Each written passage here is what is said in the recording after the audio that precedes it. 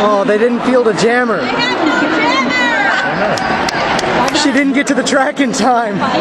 Oh my god, what a rookie mistake.